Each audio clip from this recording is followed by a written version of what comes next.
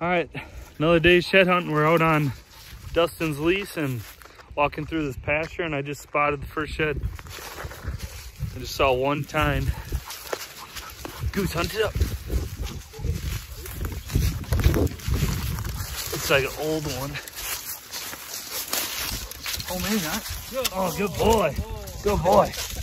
Get it. Good boy. Good job.